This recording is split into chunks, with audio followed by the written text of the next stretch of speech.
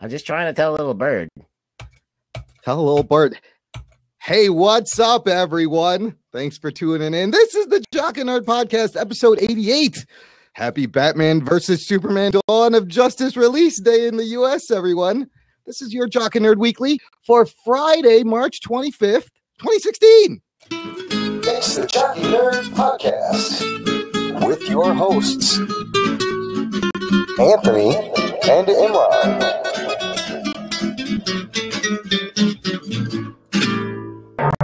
Jock and Nerd. What's up, gang? This is the Jock and Nerd Podcast. My name is Imran. And my name is Roberto Bambino. He's the rug boy. and he's the nerd. Welcome, regular listeners, to the show. We love having you back here. Now, if you're a new listener, you may be a little bit confused. If this is the first episode of ours, you're stumbling on the Jock and Nerd podcast. It's called the Jock and Nerd podcast, yet we did not hear from the Jock. Here he is. Bro, do you even podcast? He's not here right now. Uh, the Jock has a tendency to uh, go to concerts every, sometimes have a life on Friday nights, Rugs. Yeah, I want to know what that's about? Uh, What is he, he's got something to do. He's going to see something called Snails. Ah, I don't know what that is. escargot. Hey, that's what I said. They should serve escargot during the snails concert. It's some kind of EDM something or other. Oh, If it's you're a fan of snails. No. I don't know if he they. was going to a concert. I didn't know he was going to go to listen to some somebody play their iPad. I don't know if like they play the snails or the snails are playing the music or the musicians are actually playing the snails. I don't know. It There's no musicians. There's just a guy pressing a button on a on a computer, and Oh, people right. are dancing to it. It's not a concert. It's No. just uh, a dude. It's like a guy, guy playing his his freaking iTunes mix. But this is uh, the Jock and Nerd Weekly. We are live on Blab. And uh, if you are a new listener, here's what's going to happen. First of all, Rugs are officially in year two of the Jock and Nerd podcast. How, how exciting is that? Shit, a year went by already. A year went by. This is official year two entry. Uh, here's what here's what's going to go down. We're going to talk about this week's new episodes of some of our favorite superhero shows, being Agents of Shield, Flash Arrow, and The Walking Dead, which is a comic book show. And before Okay. that, we got a bunch of uh, news. Since it is Batman versus Superman release day, we're going to talk about that a little bit. Uh, but I want to start by uh, a little in memoriam section. We got we got to pay our respects. We had two big uh, losses in the world of entertainment that kind of mean a lot uh, to us in the world of comedy, in the world of hip hop. Do you know who I'm talking about? Well, one is Phife. Phife Dawg, dude. Uh, the uh, member of a tribe called Quest, a band that I listened to when I was like 13, 14. I got introduced to them and I've never stopped listening to them. An influential hip hop lyricist, man. Uh, I, that this one really got to me because they just got back together. They were on Jimmy Fallon. They were going to reunite. Um, but if you uh, if you watch that Matthew Rapaport documentary, Phife Dawg was battling diabetes for a long time. I think finally that's what uh, took him. So It's that sugar. it's that sh- the sugar will get you every time. But man, Q-Tip and Phife Dawg Tribe Tribal Quest, what what in my top five groups of all time in me for all music for me, anyways. Hey man, that's crazy. I mean, I remember uh, it's kind of like when the Beastie Boys lost Adam Yauch. Yeah. Yeah, just as big. What's up, Jesse Looney in the chat? Rugs, do you remember? I don't know if you remember. Jose and I, we met De La Soul and we met Tribe Called Quest at when there were used to be record stores in Brooklyn, in New York. Do I remember that? Did I ever tell you that story? Uh, I think I remember somebody seeing somebody from Tribe Called Quest on the subway. Well, the, oh, on the subway. We also used to run into that dude from Diggable Planets all the time. Butterfly, he was like everywhere that first year we were in college. That was weird. But dude, check this out. We went to Tower Records to see Tribe Called Quest. Uh, it was like an album signing. The line was out the door, and we stood there for a couple hours, and we got them to sign an album. It was really cool. The funny thing is, just a week before, we went to see De Soul at an album signing, and nobody beats the Wiz. Remember? Do they still have those? They do not have any whizzes. In, I, the only whizzes that are around is the ones I take outside. Nobody beats the Wiz. And this was like my favorite hip hop group who actually introduced the world to Tribe Called Quest. We go to their signing, fucking nobody's there. There's no line. We literally just walked up and we're like, hey, what's up? How's it going? Like, I was shocked. And then later we see Tribe Called Quest and they've blown up so big.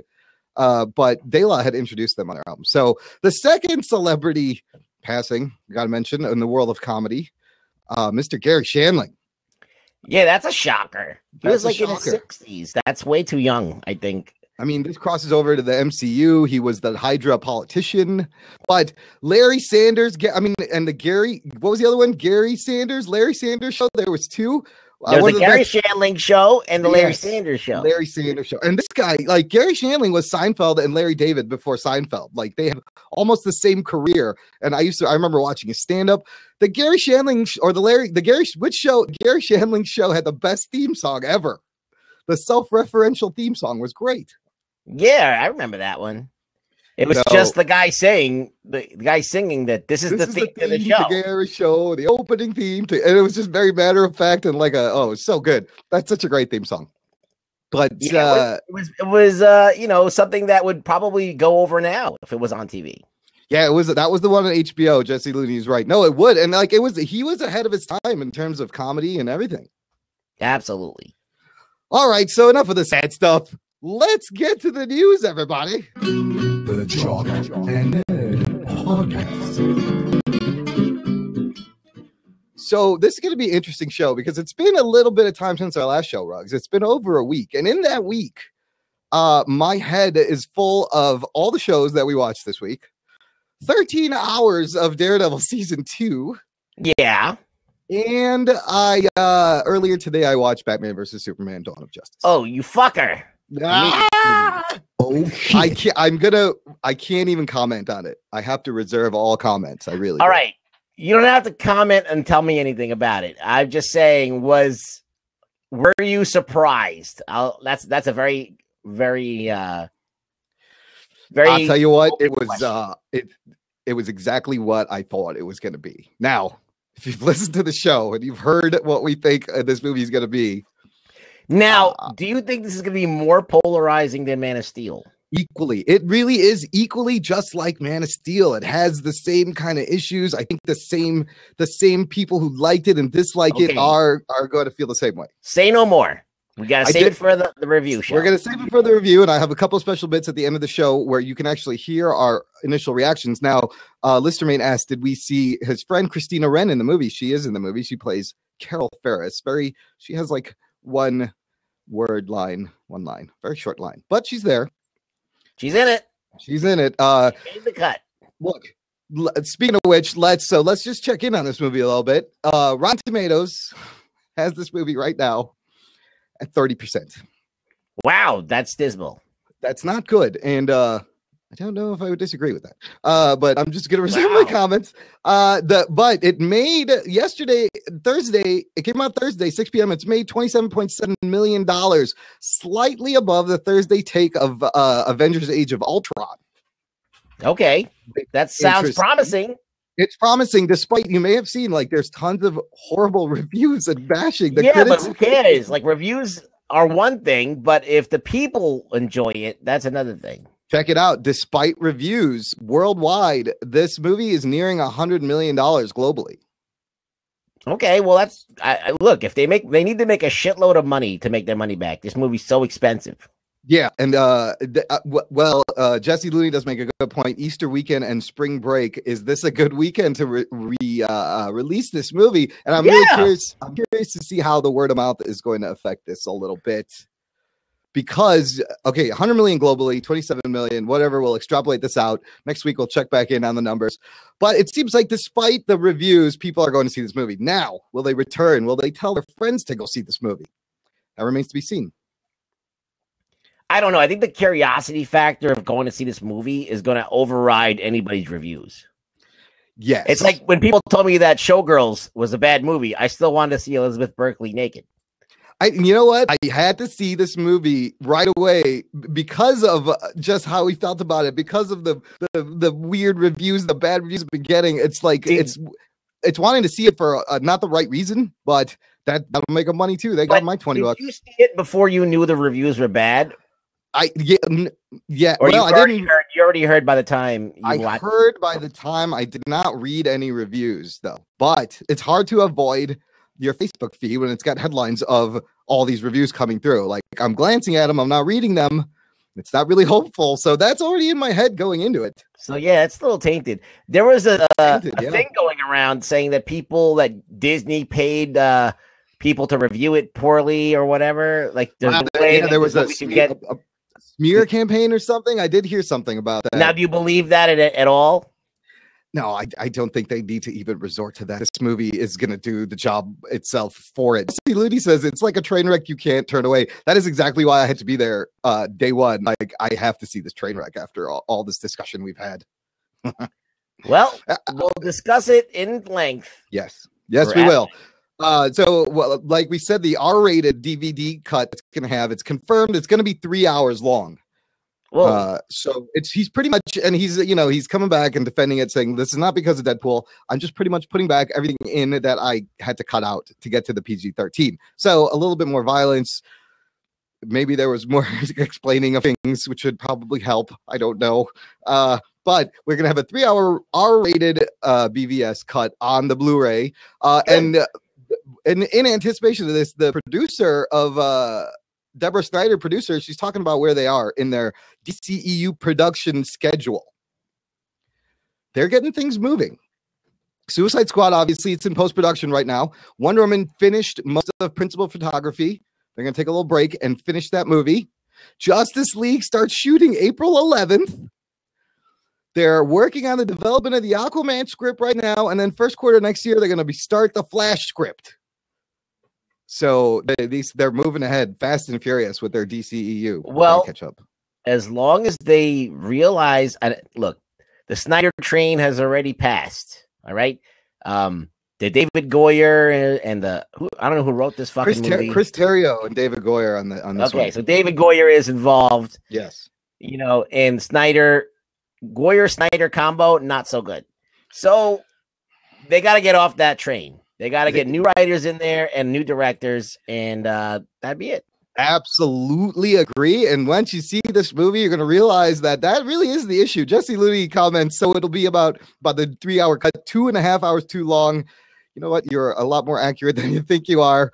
Uh, but the Goyer Snyder combo is not a good combo. I would get rid of one or the other. Or Yeah, you got to You can't have them both. Like whoever's writing the script for Superman and made it overly overly overstuffed and too complicated and dumb. Whoever did that, if it's a studio exec, whoever touched that movie and turned it to shit, gotta go. If it's Gotta break Snyder, if it was my, Snyder's idea, if it was Goyer's idea, if it was one of the studio guys, they got to figure out which what's the combo there and get rid of those people, and then Team maybe get someone else that can handle the shit. I, I, I, yeah, I, I, I would think that would be a very smart move. Jesse Looney says that I think they should cast TV Barry as the movie Flash. Well, Zack Snyder's already come out and he said the reason why we didn't do that is we were going for a darker tone. Like we, they want that Flash to stay kind of bright and cheery, and they want their Flash to be a darker tone. It, it just, it, and when you see this movie, you're, you're gonna see there's no way it wouldn't have worked. There's no way. This is two different universes. but right don't here. you think that this is what everybody wanted? When they saw that DC Universe Online trailer, Yeah. everybody wanted this dark, uh, you know, crazy thing. They're committed to the gritty, dark, grim, So- uh, realistic, in air quotes, uh, tone that they're doing. I don't care about being dark and gritty. I just care about shit making sense. It doesn't matter if it's dark. I don't care. It doesn't bother me that there's no jokes. I cannot wait till you see this movie, Rugs. And by the way, don't stick around when the credits roll. There is no post-credit scene confirmed by the app RunPee, which is awesome because it tells you when to pee and it tells you if there's post-credit scene.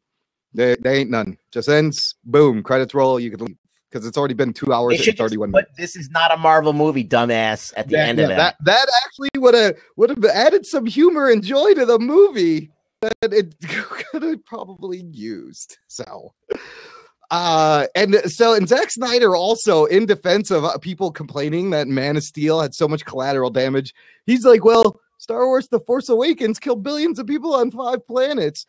But I don't think that's the same thing. No, it's It's not not about the the destruction. thing. It's about getting the character wrong. Yes. Of course, there's going to be destruction, but how much do you have to show buildings collapsing? Like two guys hitting a building doesn't make it collapse. Whether you, you know, you know, technically planes hitting a building shouldn't make it collapse. Yeah. No, you know, it's, it's clearly the just it's this destruction porn he loves. like uh, for example, there's scenes where they're using the heat ray vision or whatever to, to shoot at each other. Right. But they turn their heads and the entire building gets cut in half. Yeah. You have control over that, yeah. whether to do that or not. Yeah. So it's not like, oh, I chose to make that happen and say, oh, I didn't need to make that happen. yeah, they could have been focused blasts and and and short Yeah. blasts that that it's unnecessary. Listen, this word unnecessary, it comes up a lot in Zack Snyder movies. I I I found myself saying that watching Batman versus Superman. I found myself saying that watching Man of Steel. This is like the exact same fucking movie almost in terms of the tone and the things that don't make sense. Oh my god, Rugs, we're gonna have a great time reviewing this movie. Listener, make sure you subscribe to the podcast. This is gonna be one hell hella review when we get around to this. Uh, let me tell you what. Uh, yeah, Yeah, right now I- I'm pretty calm because I haven't seen it.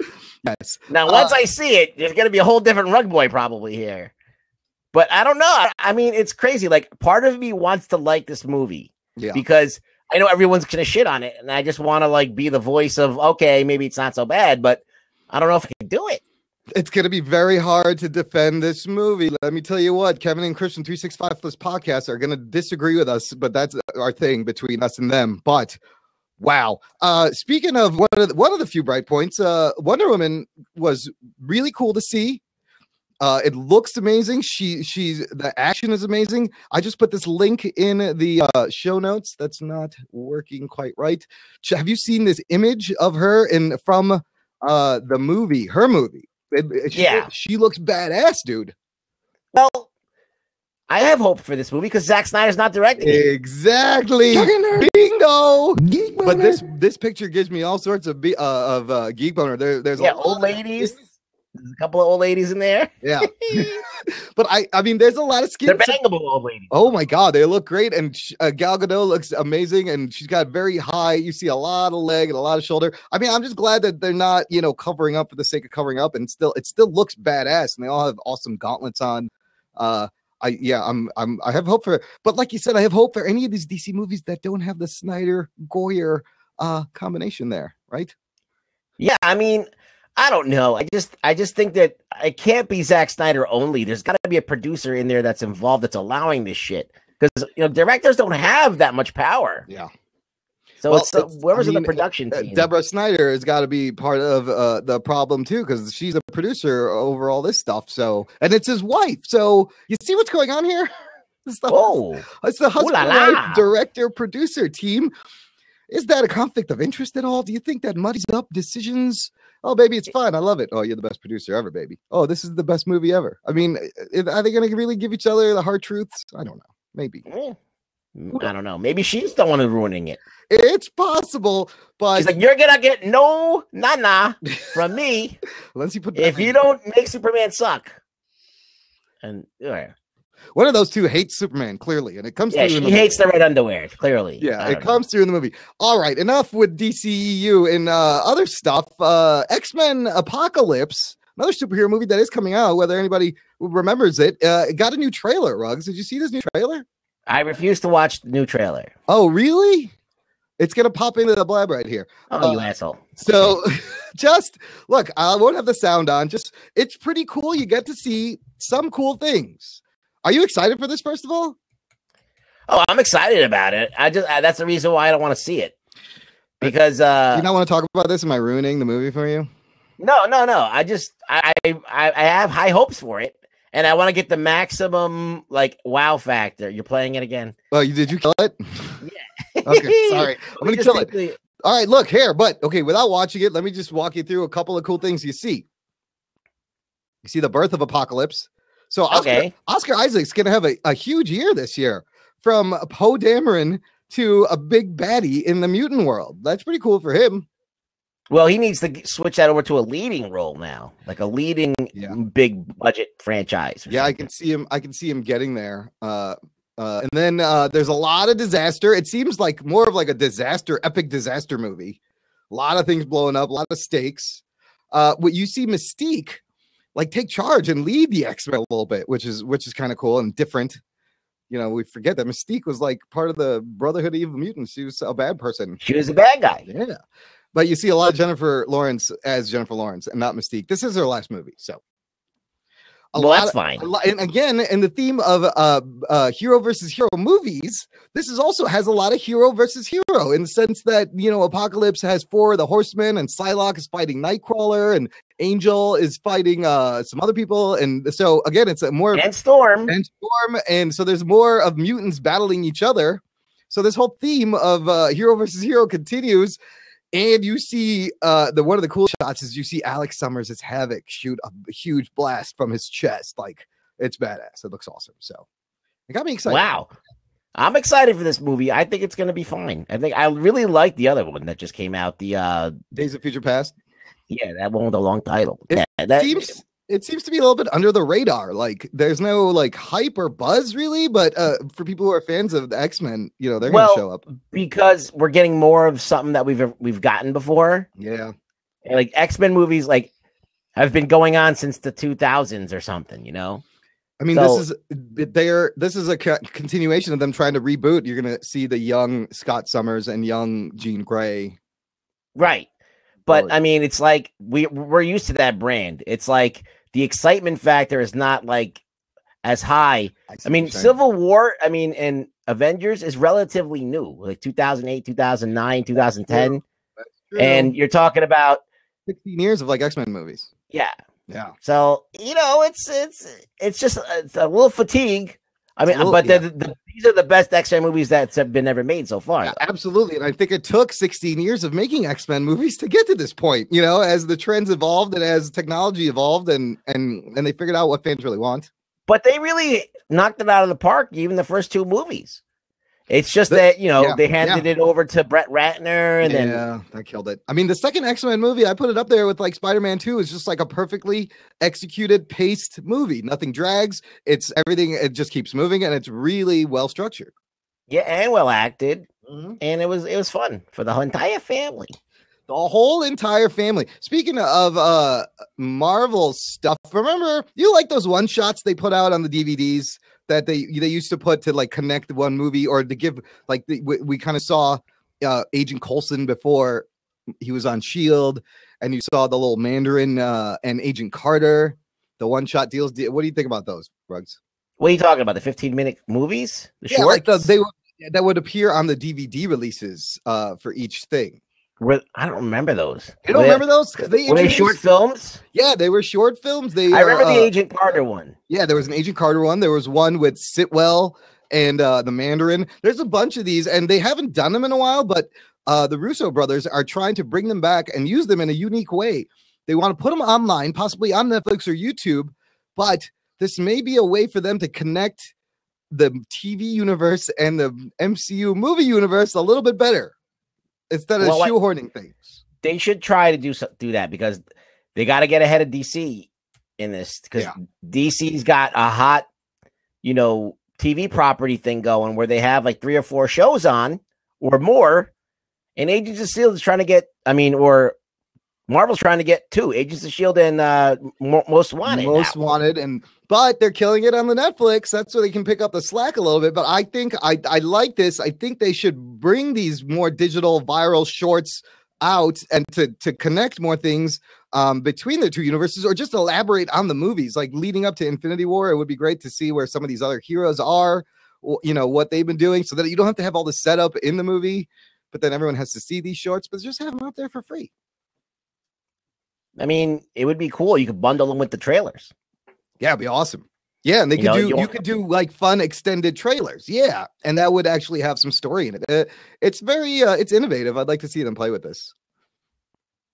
I think it's great. I think whatever we can do to get this Marvel thing um kind of cohesive from film to TV, I think it's a good idea. It needs a little bit of help. Speaking of these studios, Marvel, Disney, and AMC all have lots of studios in Georgia. Rugs, uh, were you aware of that? I'm sure you knew. no. Walking Dead shoots there. Marvel and Disney shoot there. Well, Georgia, uh, they're about to pass this really bad discriminatory bill. Uh-oh.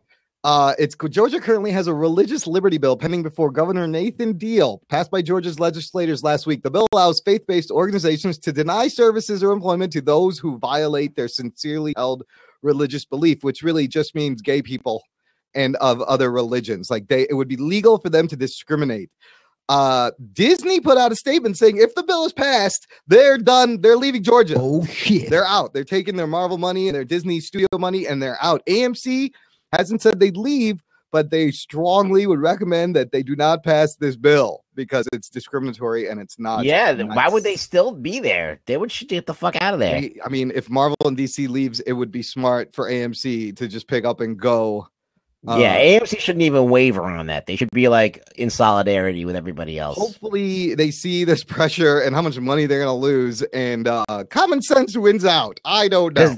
I've never heard of this before, but you just reading that gave me douche chills. Right? I was like, oh, It's horrible. that's not good for got- America. I mean, and like you, you take the money out of it. Always follow the money. If the money leaves, these people are going to rethink things. yeah. Uh, okay, so another thing we got is uh Arnold says uh he's going to do a Terminator Six. It's on the way. Really? Yeah, is this is this? Does anybody want this? After I mean, we knew after Genisys they set up. Look, they split up the timeline. Now they can tell all these crazy stories. When asked about the possibility of a Terminator 6 by Australia's Channel 9, Schwarzenegger simply teased, I'm looking forward to it absolutely. So, No, that's not. A, that's not like a yes. They're gonna make. uh, uh, Terminator Genisys never even crossed a $100 million in North America. Oh shit. That's why would you make another movie? Uh, it may have done well in China, but uh, this so this may not happen. Look, I haven't watched. I have to watch that again. Genisys, I could give it a second watch, and uh, I will probably maybe enjoy it a little bit better, just as a fun watch. Uh, I remember when I watched it, I was just like, all right, whatever. I don't agree with a lot of shit they did, but they gave it an honest shot. yeah, but when you like It was think more of a it, shot than Salvation. but when you think about the time travel stuff, and it just falls apart so quickly, and uh, yeah, doesn't make any fucking sense. but it was cool. Why would they? There's no point to the whole entire thing. No, they just that. it was just made to erase everything. Arnold is getting a little old for the world. Lister mate is right. Uh, Terminator, along with Indiana Jones, will be using walkers in their movies. Another franchise that's gearing up that you might be excited about, The Predator. Uh, they're coming out with a new new movie. No. Uh, they're looking to make a new movie. They talked to Shane Black. He didn't say yes right away, but he wants to make a big spectacle. He wants to reinvent it and make it an event movie. But if Shane Black is doing it, it just means it's going to be set at Christmas and it's going to be like a buddy buddy predator movie. Oh Well, shit. They should call it Predator. Oh, a And he, he shows up and fucks your girlfriend before you get to do it. he, he dates your girlfriend before I like that. Nerd. He dates your predator. I am the predator. I will date her before you. Sloppy seconds. Oh boy. Yeah. that would be a whole kind of horror. New horror is, That's just is as a Predator. that's just as scary. I'll tell you what. Yeah.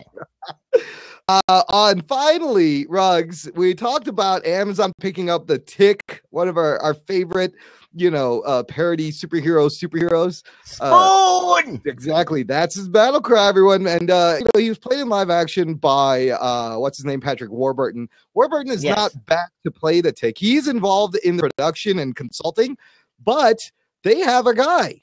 They they've cast the Tick. This dude, you may not know his name, but you're gonna know his face. Show me uh, your tick. P- show me your tick, everyone. Peter Serafinowicz. Oh. Let's see if I can put a picture of him in here. Uh, Peter Serafinowicz. He is uh he's known from you may have known him from oh it's not gonna work. Uh he was in Shaun of the Dead. He played Pete. I think that was his brother who turned zombie. Shaun's brother Ah. Pete. He's also been in the World's End, so he's buddies with like the Simon Pegg, Nick Frost, uh, Edgar Wright oh, guys. he's one of them guys. Yeah, uh, he was also in Guardians of the Galaxy as uh, one of the officers, and he was in Spy recently. Here is uh, here I'll put his IMDb in the thing. You can check him out. He's got the face for it, and I think he, I think he'll be really good. He could do like this dry, sardonic wit, this o- over serious kind of uh, ridiculous humor. And he's a, he's a pretty big guy if you think about him in Shaun of the Dead. So I think he could fill the role physically. And uh, I'm just excited for more Tick. He's a giant man.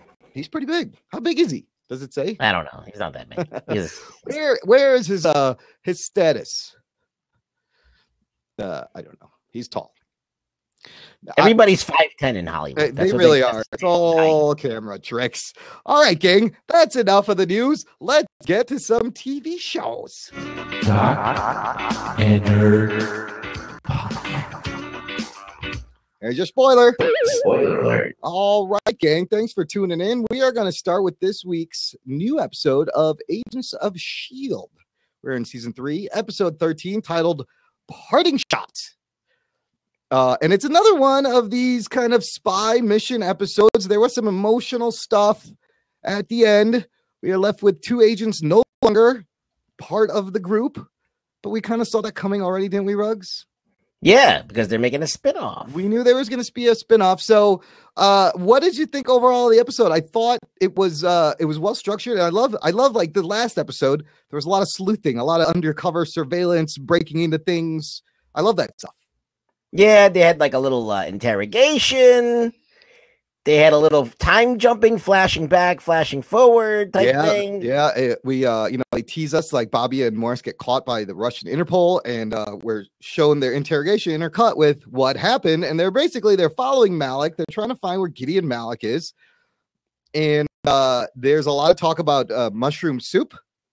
Yeah, there was a lot of porcini mushrooms being. porcini. I was somebody should try that recipe. He even gave a recipe. I'm wondering if uh, I should write it down and try it. Lance, Hey, it's worth a shot. Lance Hunter's mushroom soup. Lots of interrogation. Um, what else happened? They so they're let's start out with that scene where Bobby and Hunter are like they're surveilling, they're looking, and they're talking about their future. It's just kind of a heartfelt scene. Uh, you know, he doesn't understand. He, he's like, I miss this, just the two of us. And he doesn't understand why they're just surveilling them instead of just going in there and getting this guy.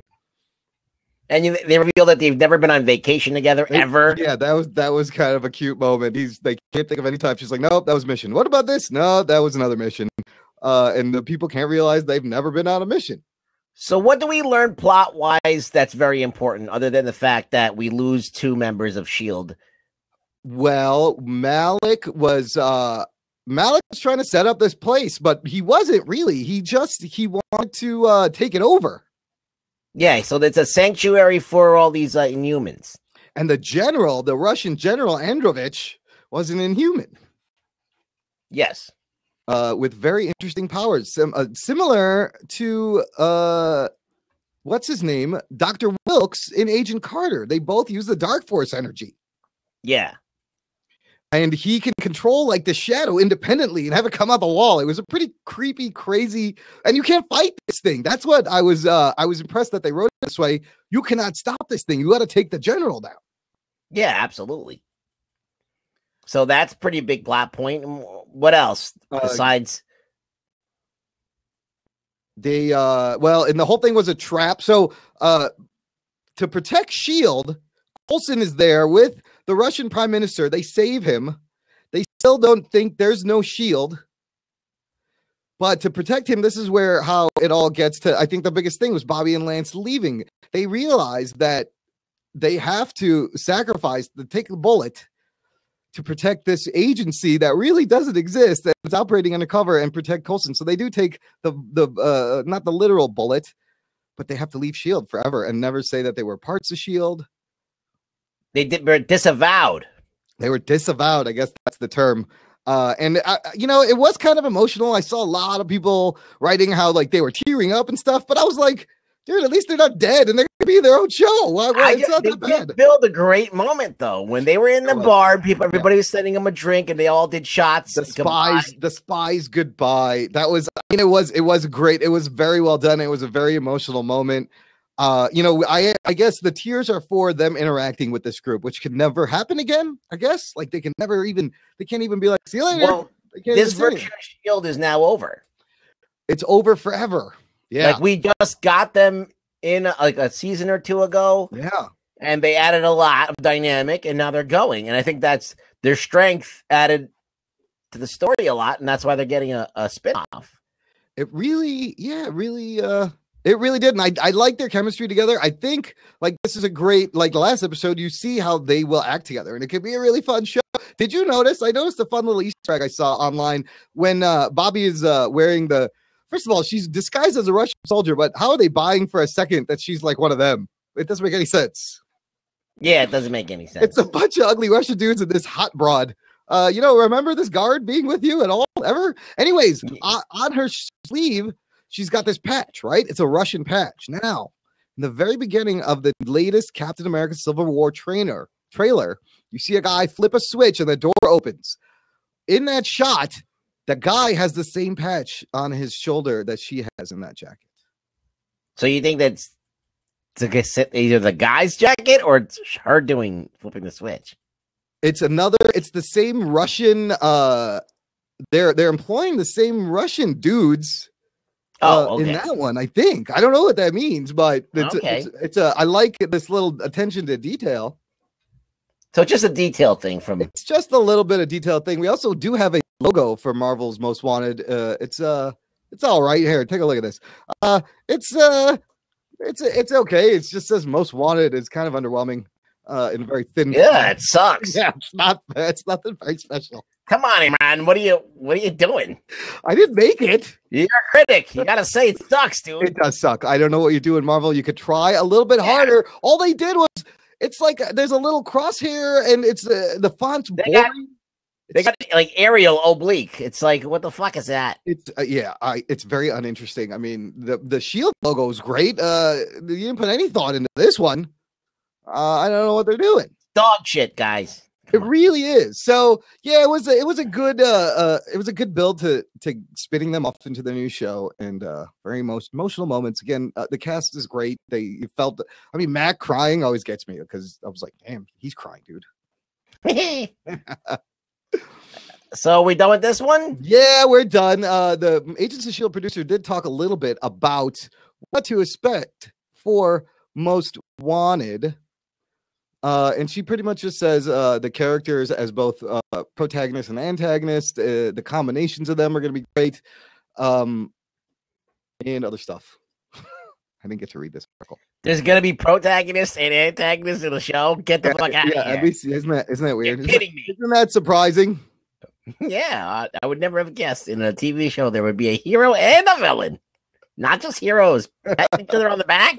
Well, the, okay. The, here's what she uh, she does make a point to say that, like we just said, they can never talk to each other because they want the show to be their adventures, and not give them the option to simply call Coulson for help at any time. Like they're cut off, so they have to be really creative. No, they're gonna call him.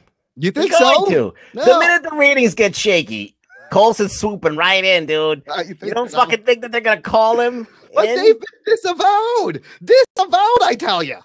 How many times has Tom Cruise been disavowed? He's been disavowed in every fucking Mission Impossible. No, I, yeah, you're right. right. And, James and Bond disavowed a thousand times. That word is meaningless, Imran. it's true. And you got to think that they're going to want to have a crossover between Agents of S.H.I.E.L.D. And Marvel's Most Wanted. I mean, it would only make sense to occasionally involve the show because then why are you fracturing things off? They talk further? a lot of shit. These guys. They They don't really do. I'm looking forward to Most Wanted. Maybe they'll change their logo. Having said that, let's get to the next show.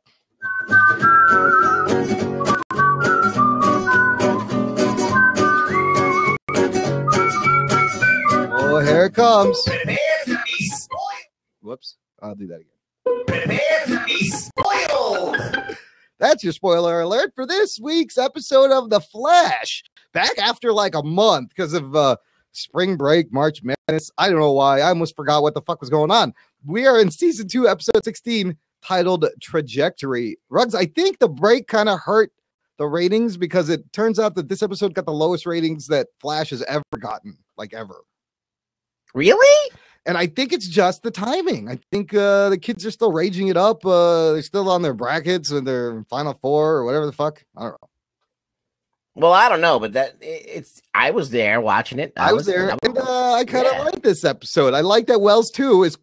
So Wells too is quoting Kanye West. That begs the question: Is there a Kanye West on Earth Two? Also, well, if he is on Earth Two, he better not be an asshole there too. well, no, he'd have to be the opposite. He would be a really nice guy. Maybe their Kanye Yeah. West is like a like just the leader of a small country. Uh, I that just occurred to me because unless he learned about Kanye in the few months he's been over on this side, What did he exactly say? it was like uh uh God uh.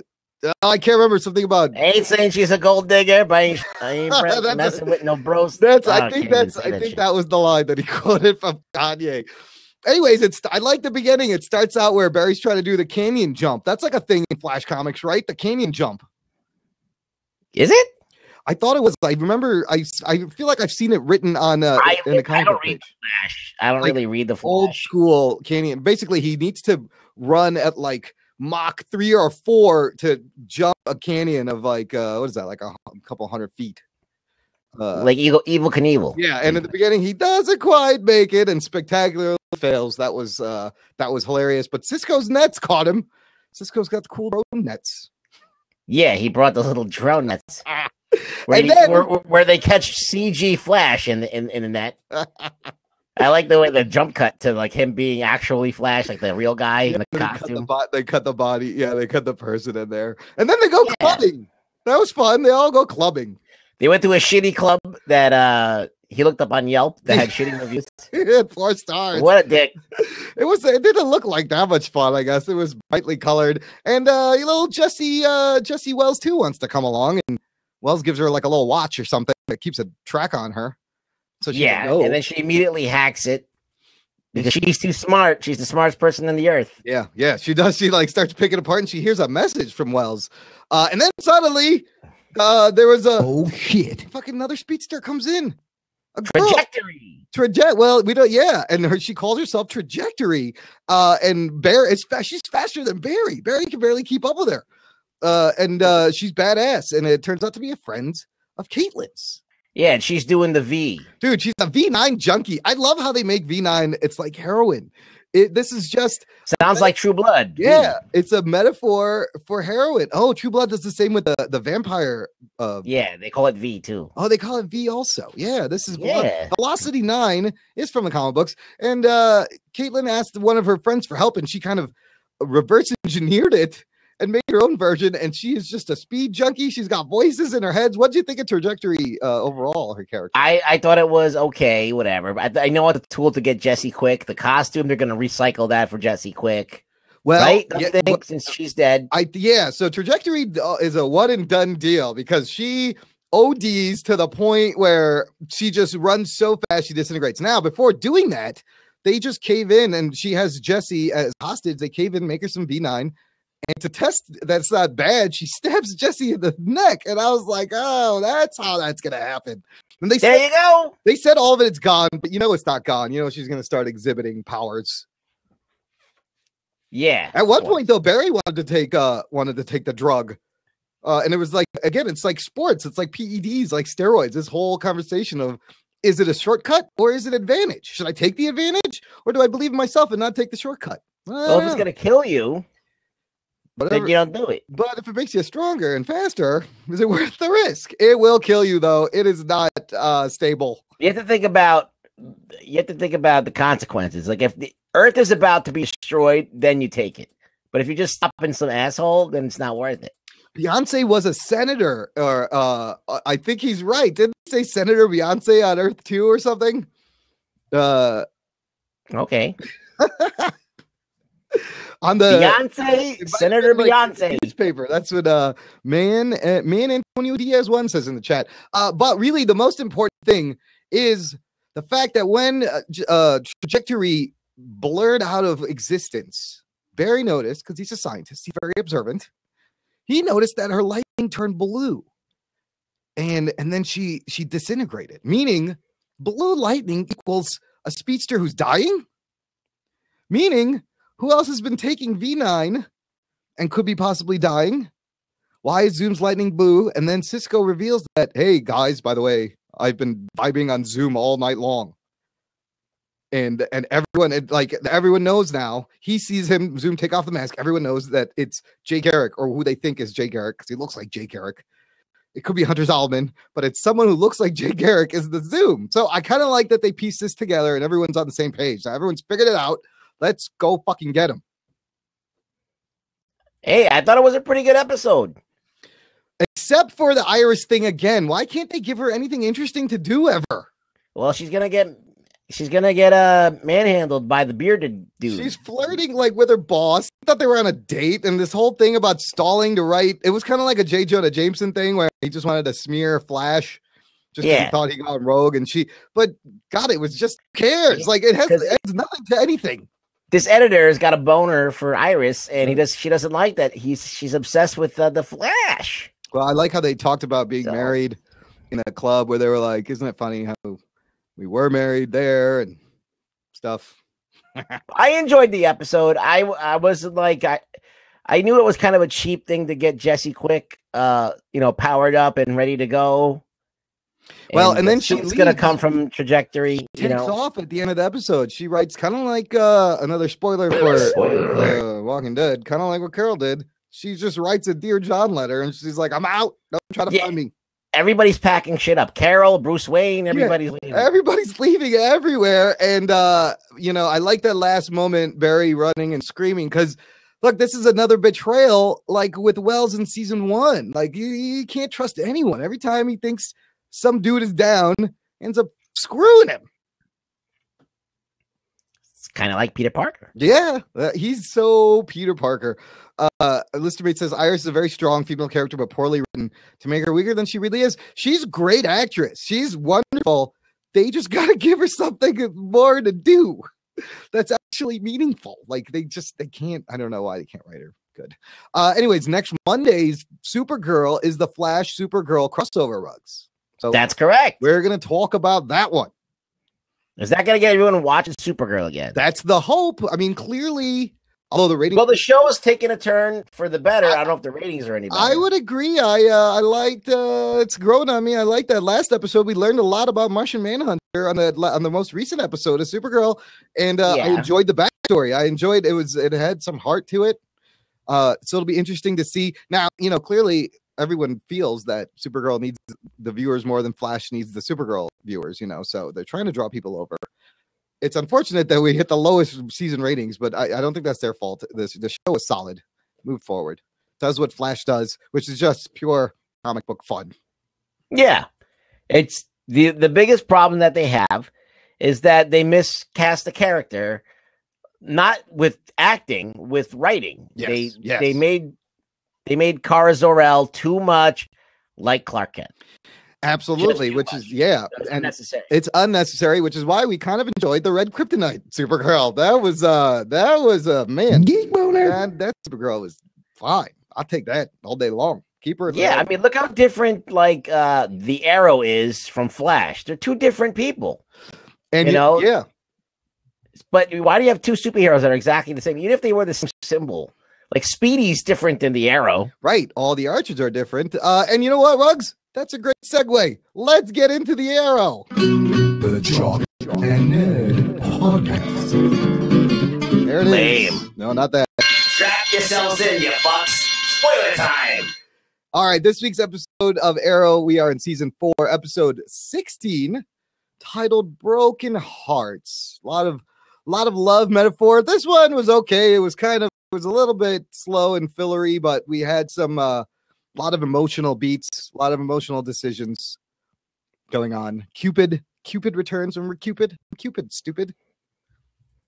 Yeah, not my favorite. You know, like Cupid, when last we saw her though, was she was in love with the dead shot, and then the dead shot got killed.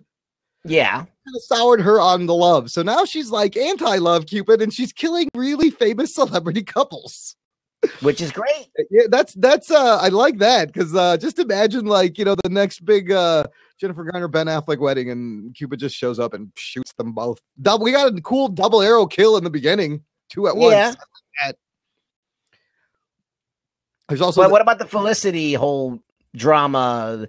The uh, fake wedding. They so they have to do a fake wedding to draw this chick out because she's ch- she's killing celebrity couples, Yeah, and of you- course yeah. everybody knows that Felicity and uh, Oliver were going to get married, and so like, hey, we can stage this and get this chick out and stop her, but they have to fake their wedding Which Oliver they're not having a wedding Yeah. anymore because Felicity called it off. Yeah, except Oliver didn't quite uh do his job. He was supposed to cancel the venue and he didn't. I really felt for Oliver because you could tell uh, obviously he doesn't want this. He's he's stalling canceling the venue and then when she shows up to the fake wedding in her dress, I'm like, "Oh, dude, this is this is what he wanted, but not like this." You know, it's like what he could have had, what he's missing. He sees it, but it's all for the good of the city. Uh I felt bad for him a little bit.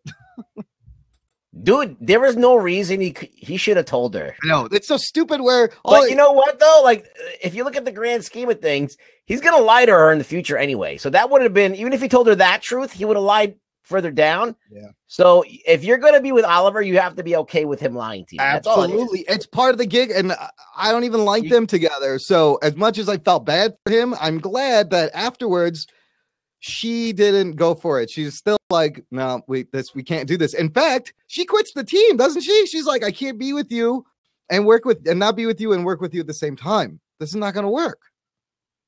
Yeah. So they're fucked big time. But did you notice at the very end she like grabs a USB drive when she's telling him this, and then she leaves.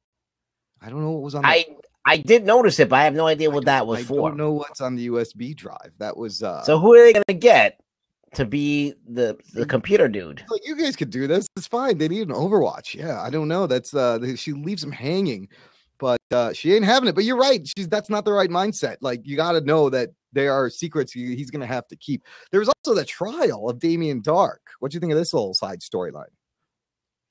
Uh, it was cool. I enjoyed it. Uh, they were trying to find someone to testify, and uh, Lance put his fucking neck on the line. Captain Lance is like, "Look, I can." So there you go. yeah, that might be a Or little is it bit. A, that might be a clue. but it might be a red herring. But might be a red herring. And what you're referring to, Rugs, of course, is who put who in the grave at the end of the season that we saw at the beginning. So good for Lance to uh be like, look, I'll I'll I'll and you know, the judge was like, Well, you okay, you can't be lying if you're gonna put your whole life on the line. Let Yeah. me postulate. Yeah. They're gonna go for Lance and end up killing Felicity's mom. Well, look, the other possibility is Damien is gonna stand trial now. Lance is gonna be their main witness for the prosecution. Uh all Damien's gotta do is get rid of Lance and he walks. Yeah, but that's what I'm saying. They're gonna try and kill Lance. Oh, and maybe he does. That's the bait and switch. So they're gonna try and kill Lance, but Lance is, you know, getting busy with uh Felicity's mom, and she might get killed in the crossfire Yeah, that could because happen. she's not a very necessary character. No, she's still. Uh, And if they do lose Lance, they lose that whole police connection thing. Yeah. So. They can lose Felicity's mom, and maybe that'll bring Felicity But back into the Laurel fold. though. Laurel works for the police. She's she's still got the. Yeah, but. I mean, how do you bring Felicity back into the fold? oh, Now she's got an axe to grind. shit! Now she's got yeah, she's got beef. Ooh, I like that. Although, yeah, that's not bad. I'm just I postulating. like that's not a bad way. Uh, that's not a bad way to go. But Lance gets suspended. He's not a cop anymore. And Darhk at the end has his ring in his mouth and puts it on. Didn't his ring? Is that how he has powers? No. well, what is the ring? got like a he has to use some kind of like uh witchy witchy object to draw his power from. he needs a totem.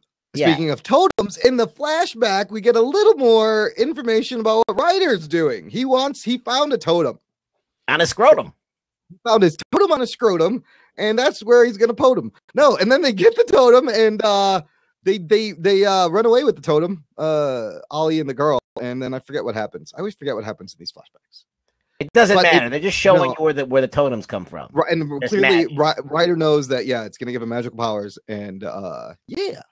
So it, yeah, it was a good. I mean, it was an all right episode. The Cupid, I loved Felicity chirping, chirping them on, chirping Oliver on comms early on, and everyone can hear them, and she's just giving him a hard time. Ugh. yeah, I know. It's humiliating. It's great though. It's I love the I love the calm humor.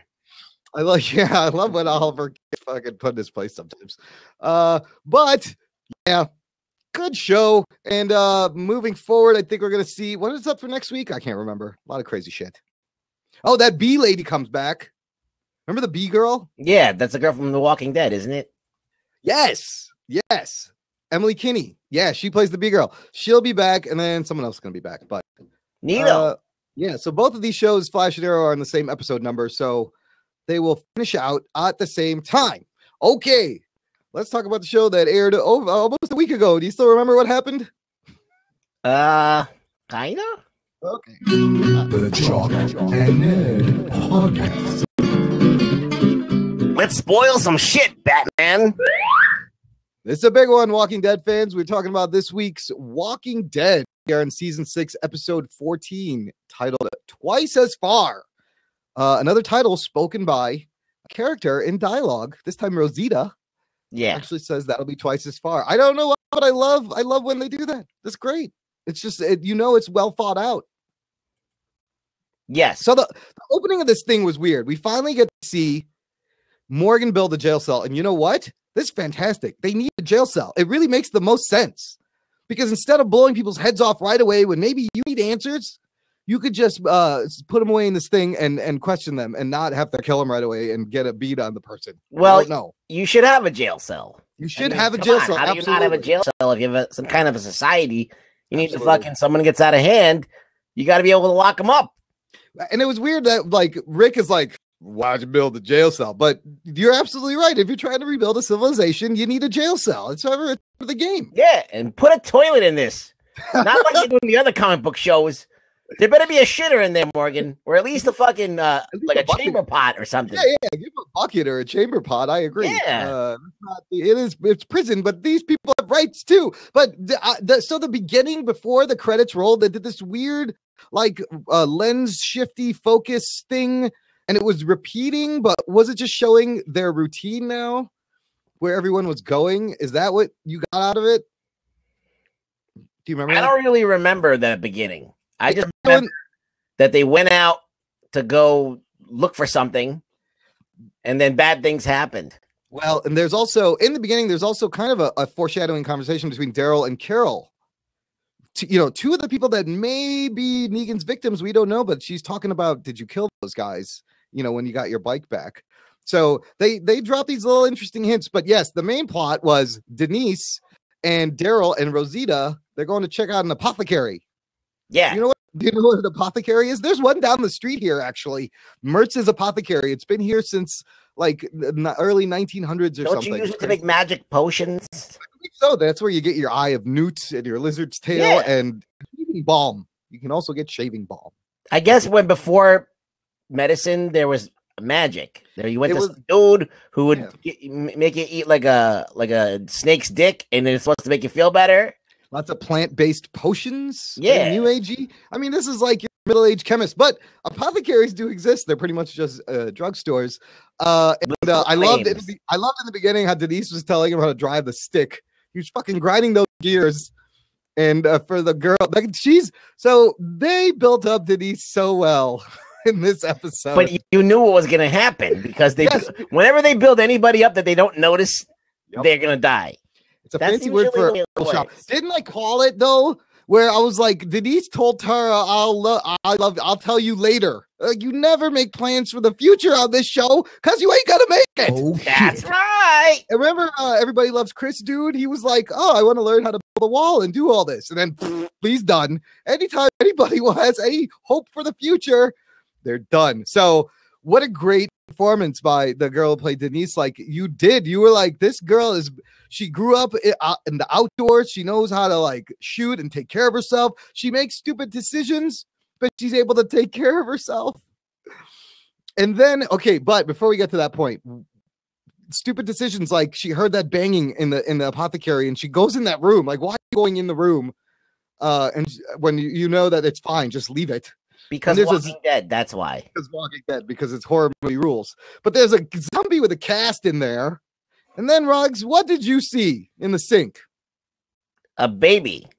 was it a baby i i saw It was what was left of a baby, I think. you see a, a a little baby shoe and like a pool of blood Yeah. But what is this implying? Were they up to no good, or did this baby just get killed by a walker, probably accidentally and Yeah. eaten entirely? He was a just like uh, Paulie said last episode, a bite-sized snack for the walkers. Right. a little disturbing, but uh, so look. T- All right, look, look, can, can I jump to the part where Yes. I want to throw my shoe at the TV? okay, what part is that? The part where you know that bullshit's about to go down. All right, so When did you the whole time Daryl's like, "Don't go on the tracks. The tracks is a bad. You go to the tracks, you're a sitting duck." So Yep. they decide to go on the fucking tracks, on and, the way back? and then you know that she's. This is what's gonna happen. It's like they're gonna give her her moment. All right, she's gonna fucking be a victor. So she sees a uh, like a, a cooler. Like normally, on any given day, no one would fucking stop for that cooler. But today, because they're building up her character, she goes into she goes into the car, kills a walker, you know, in a like a But Walker was almost about to kill her, and she. I said out loud, I was like, "What are you doing, you stupid woman? Just leave it. What are you doing?" and then she does all that for a fucking soda to bring to her her girlfriend. It was, how does And she I'm know like, there all was right. in there though?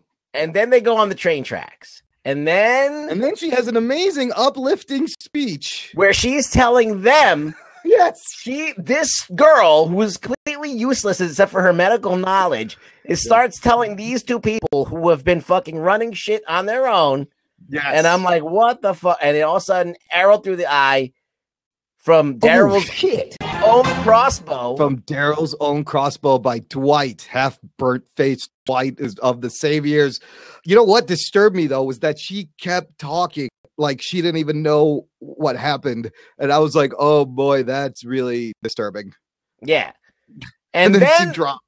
then the coup d'etat all right now they got the dude on his knees what's his name the guy Uh, Eugene- Eugene- Eugene is there for some reason. He's on his knees, and Daryl's, you know, everybody's like in Rosita. They all are surrounded by like a million guys. Like we're talking like they're at least twenty deep. These guys, and everybody has guns. Oh yeah, there's everybody there's, has automatic guns. there's all right. easily 20 saviors there. now, because Abraham is hiding in the bushes, all right. Yeah. For some reason, that gives them the advantage. For what's his name? I keep forgetting the fucking guy's Eugene, name. Eugene, Eugene Abraham hiding. He bites Dwight in the penis, and Oh. Dwight doesn't do anything. His arms are just in the air. He's like enjoying the penis bite. He's like, I'm not gonna just grab you by the ear and like rip you off. He's already biting his dick. Like you can't make it worse. And he's just like flailing around Yeah, and not shoot him in the head, dude. It would stop it immediately. dude, that dude should have been dead. The dick biter should have been dead. Eugene should have been a fucking dead man with penis like locked in his teeth. Why know- wouldn't you sh- shoot him in the head right away? That makes no sense. Even when I, even- the bad guys don't even do the right thing. And then all of a sudden, through the grace of God, because of the dick bite, there's three people, two without weapons, are able to overcome 20 guys There's with guns dicey. pointing at him. They slice him next. They grab their guns and they're able to ward off. And Abraham's in the back. And then Abraham has that great line. He goes, "Well, you sure know how to bite a dick, Eugene." Uh, He but, sure does, because the guy didn't even try and stop him. but I love that. You know what's interesting? I believe in the comic books, this actually happened to Abraham. And Abraham bit someone's dick off. no, no, Abraham got the uh, Shit. Abraham got the arrow through the eye instead of Denise, and I I believe I read somewhere Kirkman uh, realized that this was a mistake when he did it in the comic books because Abraham is such a valuable member, you know, in this world. He kind of switched it up. But what about let, us backtrack because I loved Abraham and Eugene at the factory and his I plan to make bullets, which is very smart. Like make bullets, you need bullets. Yeah. And of course, uh, Eugene has the one zombie he tries to kill has a fucking molten metal helmet on, and he can't kill him. That was hilarious. He hits him and goes ding, Yeah. and then he's pissed. He goes, "I, I called dibs on it." He's pissed when Abraham kills it for him. It's great, great stuff. But don't you think this episode was a little bit too like it was too eh, like every time they do something that makes sense, they have like another one of these things where like you gotta be fucking kidding me, right? You're kidding me, right? You're fucking they're- kidding me, right? That's what I'm doing. I'm like, "Y- why? He What? bite- He bites his dick, and he doesn't get a fucking gun to the head. Dude, The minute he was near my dick, I would have punched him in the eye. I would have done something. I would have kneed him. I don't know. You don't think it was that that like surprisingly and traumatic? That Look, he's I mean, like- that you would wouldn't be able to react that The quickly. dude's wearing jeans. There is no way his teeth are sharp enough to even break through the jeans. no, that's It's- true. he's not biting his. There's no way he could actually bite his dick off like that. No, You'd have to just- rip through the jeans. Yeah, no, he's it's just the distraction, but it seemed to be a really long time he was. Yeah, he didn't do anything. Well, Give he, me a you- break. Listen, Eugene does take a bullet though in the shoulder, so something. But that wasn't because from the dick biting guy. So, No, uh, and then what do we think about Carol writing this dear John letter? Uh, like she's she's flipped again really quickly. Do you think this is a little fast when she goes some? why do you cold-blooded think she left? Wait, did she leave in the comic books? Uh, no, I don't. She never left so. in the comics. I don't think so. I heard rumor. Somebody. I saw something about. Is she gonna kill herself? Can she not take the killing anymore? She can't. I don't know. she- It's just weird. That's a weird turn her. Right? You feel like she's becoming. All right, maybe she's afraid she's becoming too detached, but I mean, there is like a life that's there. Is she just like afraid to get excited about it so it can be ripped away again? Like every time she has hope, it goes gets dashed. I mean, she was. She's. She's. Yeah. Tobin was there, and she leaves this note, and she says she can't kill for them. Don't come after me. Uh, I don't know. This is. It almost seems to come out of nowhere. I mean, they, they, they hinted in the la- you know last couple episodes that she was, uh, d- getting a distasteful feeling about the killing, but then to do this all of a sudden this quickly doesn't make sense. I don't know. It doesn't make sense in the world. I understand that she doesn't want to kill anymore, but the world that she lives in, it, there's no way she can avoid it unless she just dies. Like she went past Morgan now on this uh, humanity spectrum, all the way to the other side. Nah, From I being- think that's weird. It is very weird. I understand that you want to like have that feeling of being safe, but it just doesn't happen in this world. You just can't. A very yeah, it was a very strange. I was not expecting that, especially with this Negan thing coming up. There's there's only two episodes left. There's one more, and then a 90 minute finale. Uh, so Did you think this was a strong episode? I I mean, in the last couple have been pretty good. This one seemed a little bit, even though there was like a huge death of a major character, it seemed a little bit fillerish. Like they they took a lot of time with this apothecary thing. Like I just felt that it was so decompressed and spaced out. Like it was taking forever to get there and open it and do these things and show us these things just to set up, just to kill Denise. Really. Yeah. They could have moved that along a little bit more, but it seems to be just a little bit of a filler for space for this finale, crazy finale, which uh, article came out saying that they will, The Walking Dead will stay faithful to Negan's comic book entrance. Uh, basically, who said this? Scott Gimple says uh, it might be wildly different, but it's all to get to the same sort of feelings that you got when you read the book. He says, "Will it be different? Absolutely. Will it be the same thing? Absolutely." Again, Scott Gimple not giving us a lot of fucking information. He always does this shit. He's like, Glenn's gonna be back in some form, and he's like, it's gonna be the same, but it's gonna be different, but it's gonna be the same. They they really do that a lot with this show. Like they almost troll. You like the jerk you off? Troll their own fans, and they don't tell you what's going on. Yeah, Uh, I mean they have to. They have no choice, but No. they can't give away what's going to happen. dude. But I'm looking forward to uh the next two. We got one more, and then a 90 minute season finale. It's gonna be crazy. It better be crazy. We'll see some some um, some more heads get smushed by Lucille. Ah, I feel like that there's been a lot of progression in this season where things are actually happening, which I like. Yeah, But there's the amount of stupidity yeah. Sometimes that they do for plot service Yeah, is just getting out of control. Like they got to put a cap on that.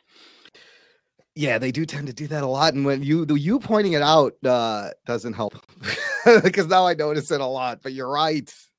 They do things that make no sense Just for yeah, just for shits and just to move the plot Just to move along. Like and- Well, yeah, sometimes you can clearly see them. They're like, we got to get to this point, and this is, and then this is just the fastest. May not, they may not make sense. The fastest way to get there.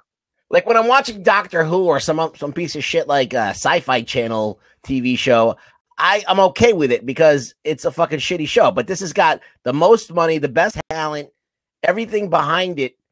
You got to go bring your A game. It's You- everybody's shelf, breathing right. down your neck. Yeah, Daredevil's breathing down your neck. You know, you got all these fucking shows that are out that are breathing down your neck. You got to keep. You got to toe the line.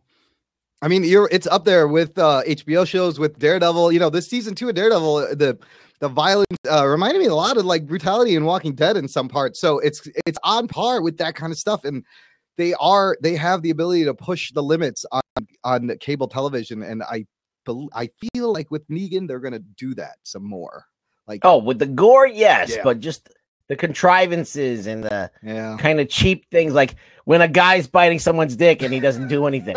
or when you have a guy that's chasing you and you're driving a truck, mm-hmm. you don't stop and get out and fight him. You just drive away. yeah. He's fine, let him go. But no, you have to meet the Jesus to get to the hilltop colony. But you could have done that a little bit better. I Yeah. see, I see what you're getting at, Rugs. It doesn't make sense. And I think a lot of this is him trying to balance like the the comic book storyline and make something new. And kind of feel like I have to get to this point for the readers, but for the viewers, I got to get to this point, and then they just smush things together. But overall, still one of the better shows on television. Come on, Yeah. top five, ten, whatever. Yeah. All right. Anything else? Final thoughts? You good? No, I'm saying I like the show. Yeah. I did. They just. I'm just. I like to look as a critic. I got to call the people out Yeah. Sometimes you gotta call. You gotta call them out on their bullshit. And uh because who doesn't like a critique? You know, you put up anything, people got shit to say. So what about as a fan?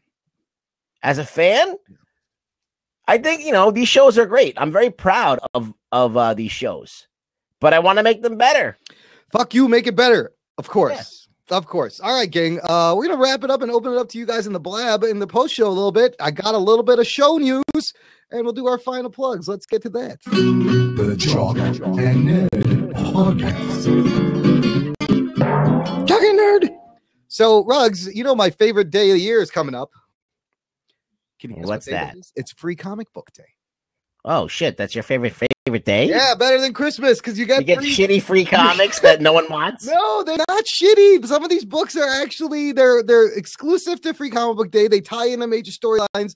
It's a great thing. really? that yes they do like they they've teased stuff uh, a year in advance uh, it's the marvel and dc ones but look it's a great way to get new people to buy, get into comic books it's the first saturday in may this year it's may 7th uh free comic day uh go to uh there's a website just google it it'll tell you the nearest participating store and you get to pick up like three free books and there's a lot of events at these stores which is why i'm mentioning this because this free comic book day will be be spending the whole day at pastimes comics hanging out with fans who come in and recording audio for a free comic book day special Jock and Nerd podcast.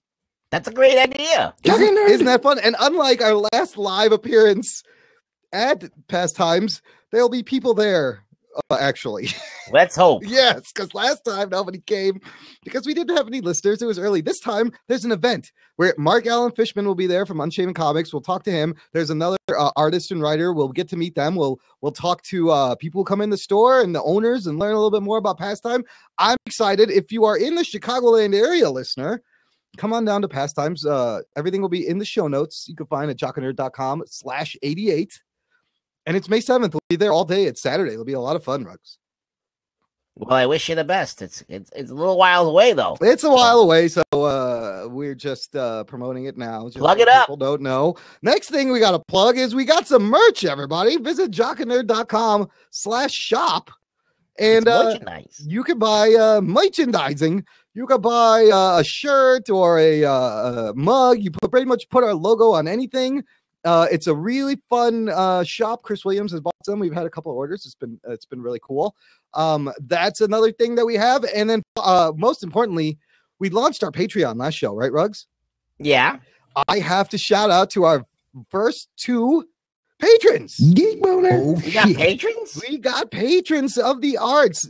Special thank you to a place to hang your cape and Jesse Looney, who's here with us right now, is a supporter on Patreon, and that gets him access to bonus content. So Oh, there's some new bonus content up there, Rugs. uh, Loaded right now. If you are to support us on Patreon, you can visit jockandnerd.com slash Patreon for a dollar per month or more. We're gonna have our instant reactions to Batman versus Superman audio, Dawn of Justice. that's correct. So, Rugs, when you see yours, send it over right now. If you really want to know what the nerd and the jock think of this movie, support us on Patreon. We have instant reaction audio up right now. I'm actually going to send you some other stuff soon. Okay, good. Any all I'm this just it's gonna be like a the rundown rants. I'm just gonna rant about various shit I for like it. uh like Yes. maybe five minutes. yes. And it, it'll be just me just saying bullshit and uh hopefully it'll be funny. Th- there you go, listener. If uh, Here's the rundown. Support, hey, support us on Patreon. You're gonna get special rug down rants from the Rug Boy, little mini episodes. I love that idea, Rugs. Well done. Uh, jockandnerd.com slash Patreon. Check it out. Lots of great bonus content. This Rug Boy impersonation contest is still on. We haven't gotten any entries. Nobody cares. Nobody cares. Send us your best Rug Boy. Do one of these. Terrific. Yeah, send us one Yeah. of those. Let's record that. Go to uh, our website and click the red, big red button on the side. You can contact us. Leave a voicemail. Give us your best Rug Boy. You're gonna win something. I'm yeah, I'm gonna call in. I think I could do a pretty good rug boy. I think you might be able to. Listen, uh, employees of the Jock and Nerd podcast are ineligible to uh, reply. Oh, go fuck yourself. I want something for free. Oh shit.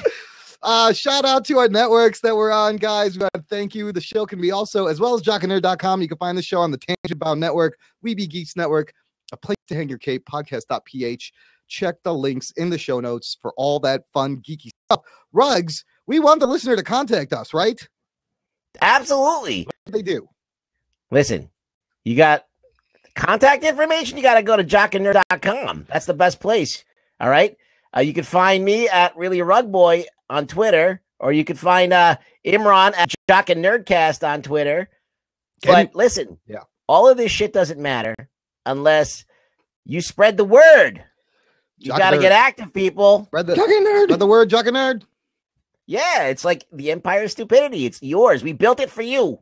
Now you guys got to get active, get mobile, start passing this shit around, start mentioning it to your friends. Yay, get your phone out, go to the iTunes thing, tell them to subscribe. That's all the ways you can help us out, gang. If you like what you hear, if we made you chuckle, if we made you laugh, if we made you guffaw, uh, go to leave us a nice review on iTunes. You go to jockandnerd.com slash review and tell your buddy, tell a friend, just like Rug said. Spread this around like the venereal geeky disease this show is. Oh shit. no protection. We get raw and dirty. Uh, that's it for this week, gang. Thanks for joining us. This has been the Jock and Nerd Podcast. My name is Imran. My name is Rug Boy, He's the Rug Boy. and he's the nerd. Hey, we'll catch you next time. Get after you, people. Good Earth. Terrific. Yeah. Lame. Fantastic. Bro, do you even podcast? I miss you, Anthony. Jock and Nerd. All right, guys. Uh, here's what I'm gonna do. I'm gonna I want to put this post show up on uh, the Patreon also for the listener. So I'm gonna stop this recording on the blab here, but the audio is still gonna be recorded.